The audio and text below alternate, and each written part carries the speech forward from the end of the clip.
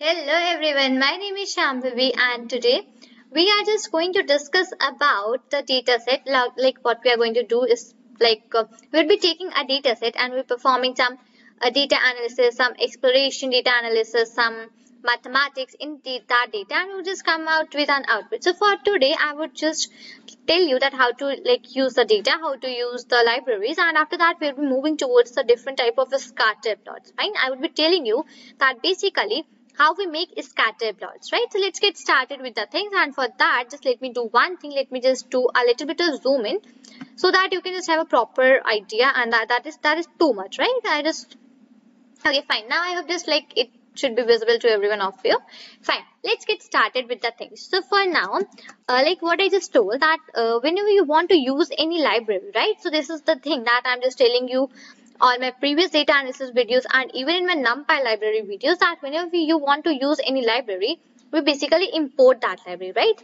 Now what i would do i would write import and here i would write numpy as np so, so for the ones who are just new for my channel i would select you like to tell you one thing that this is a google colab right? This is a service that is a google cloud service which is provided by google and basically here we write our python codes basically what like not python codes i tell the data analysis on the sim because like i just like uh, you say i just like uh, it is very good for using that. Fine you can just uh, have that thing only. Right so this is a google colab and basically in this i work for data analysis. Fine.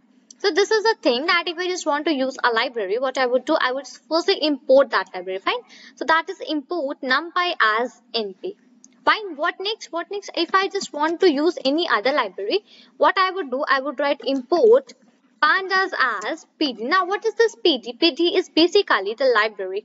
Sorry, pandas is basically a library that is basically, you can numpy and pandas. They both are used for doing the exploration, like mathematics and all that thing, right? So, basically what these do, this, they perform this mathematical things, right? So for that we use numpy and pandas and numpy is just you can say I have written a short form for numpy as np and I have written the short form for pandas as pd. Fine this is done. Now what is I would just do one thing. I would import one more library. So that is import. I would import one more library that we'll be using for the making the scatter plots. That is matplot uh, okay here I would just import a library that is seaborn s-e-a-b-o-r-n seaborn as sns Okay, let's say, let's say uh, I have a one more library that is Seaborn. Now, what is the Seaborn library used for? This Seaborn library is used for doing the exploratory data analysis. EDA in the sense that it is used for doing and making the graphs. Graphs in the sense scatter plots, bar plots and bar graphs and pie chart, box plot and all that things, fine, line chart. So the Seaborn is used for doing the exploratory data analysis. Now it, it is the very first video for this I think so sorry for this data analysis new uh, data. So here I would just import all the libraries that we would be using further also so I would just write import matplotlib dot pyplot dot pyplot dot pyplot as plt so basically matplotlib dot pyplot this is also a library only which we basically use for doing that uh, performing the uh, exploratory data analysis that is it is for use for making the graphs and all that right these are the four libraries which we will be using uh, from the, uh, you can say for this data. Fine. So let me just quickly run that and fine. It that run. Fine. That is done. Now what is my next step? Next step is that I just want to make a variable, right? I would make a variable in which just I would read my whole data. Now for reading our data, what we use, we use a library that is pandas and basically pandas is the short form I have written pd, right? So I would write pd dot okay. So basically what we do we use pandas for reading but here we will not be using that thing because uh, this the data which today I would be taking. That data is uh, it's like, like you can say that data is a part of a library that is the Seaborn library. So here today I haven't downloaded any data or I haven't haven't taken any any you can say website or any link here. What I would do I would just take a data that some of the libraries have the data on their own. Fine. So i would just take that data for today so that if you have any like you do not face any issue while downloadation or something like that. Fine. So i would write ns, sns dot, i would write load underscore data set. Fine. And in this bracket i would write Now, tips is one of the data sets that the Seaborn library is also already containing, fine. So what I have written, I have written T is equal to SNS dot load dataset and in bracket I have written tips. So basically this is the line from where we'll be loading our data and we'll be using this data. Now I just want to check that what my what are the rows in my data, what are the columns in my data. So what I would do, I would just use a function that is head. Now, what does this head do? This head basically prints the top five rows of your column, uh, sorry, of your data, whatever the top five rows are of your data. It basically prints that. Fine. So whenever just I, I just want to check that what are what are the columns, what are the that are in my data, I would just write t dot head. This head is used for printing the top five rows of your column. And let's say in the bracket, if you write some number, like, okay, let's, let's say write 10. So it will display you the top 10 rows. So basically this head function is used for displaying the top rows, fine. Now this is my data set and it contains some columns like total bill. It has total bill, it has tip, it has gender, it has smoker, it has day, it has type and it has size. Fine. So these are the uh, you can see columns which my data is containing. Fine. And now here these are the like values and these are the top five. And now if i just want to check about the last five. So for last five i will, I will use another function that is it uh, that was t right? We were just taking t. So i would use t dot tail and this tail would print me the last five rows. So this my basically this one contains total 243 rows right 243 rows uh, my data contains 243 rows fine so this is the way for checking that and if you just want to check the shape I would write t dot shape and I would just run that. So it just told me that you have 244 rows and you have 7 columns, right?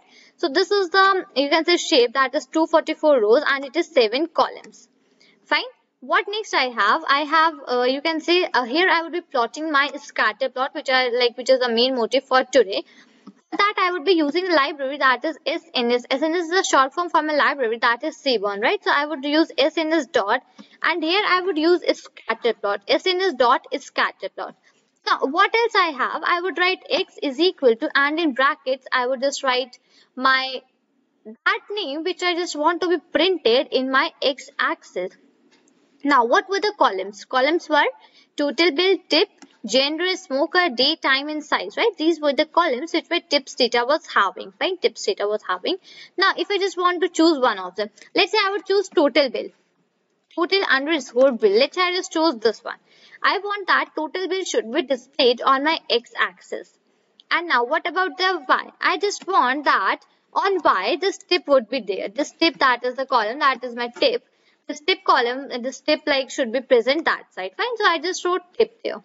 Now, what else I have? I Here I need to write the data. Here I need to write the data. D-A-T-A, data is equal to T. I here I need to write the data that is equal to T. And uh, that T, what is this T? This is the T in which I am storing my, uh, read, I'm reading my data and I'm storing my data, right? So this is my T. So basically here what I am doing, I'm just writing sns dot plot so basically this is the scatter, this is the use of Seaborn library that is SNS. So this is I have just given my shortcut, right? The SNS is a short form, a short form for writing my Seaborn library. Now what else? What else I have here is scatter plot. So basically scatter plot is is used for making. Uh, you can see here I want to make this scatter plot. So what I would do, I would write this scatter plot. Fine. Now here what is written? And I have taken a variable that is x, right? In x, what I have stored? I have stored the total bill. And I have taken another uh, variable that is y and I have stored at the tip. Now on my x-axis, I want total bill to be printed and on y, I want this tip to be printed. What else I have? I have just taken my data and data is equal to t. So basically t is my that variable in which I have stored my data. Now when I would just run this, see, I got a scatter plot here. Now this is how a scatter plot looks like. Fine, this is how a scatter plot looks. So here what I have done, I have plotted between tip and total bill. I just want to see that what is the ratio and what is the uh, proportion for this total bill and tip, right? So I just plotted this scatter plot. I hope you got the idea about scatter plot. Now, let's say I have to do some more things. Let's say I would just take T, right? Now, I would just perform some things here. Let's say I just want to find that, that what is the fraction for tip. Okay. So uh, basically FRACTIN. Here let's say I just want to find a TIF fraction. What I would do, I would write T in that T is my variable in which my data is basically read and this TIF fraction, right? What I would just write T and here I would write T in bracket. I would write my function that is TIF. The, sorry, that, my, the name of my column that is TIF. I would just do this. Here I would write T and in bracket I would write total bill. I just want to find the fraction for the tips, right? So I would just write total bill. And now when I would run this, it will just basically run. And now when I would just want to find out, uh, I would just run, my, uh, you can say head, I would write H-E-A-D and your brackets. See, I would be getting one more column, uh, like um, one more column added that is TIF fraction. And basically in TIF fraction, I would be having the values like the, the values for which the tip is divided by total bill. So when tip is divided by total bill, whatever are the outputs for each and every row that are stored in this TIF fraction, right? So this is the way for making a new column in your data set. If you just want to make a new column in your data set, this is the way how we do that. Fine. This is done. Now some more features about the scatter plot. So just quickly let me write SNS dot scatter SCA scatter plot and in bracket let's say now I want to just write x is equal to total b that is the same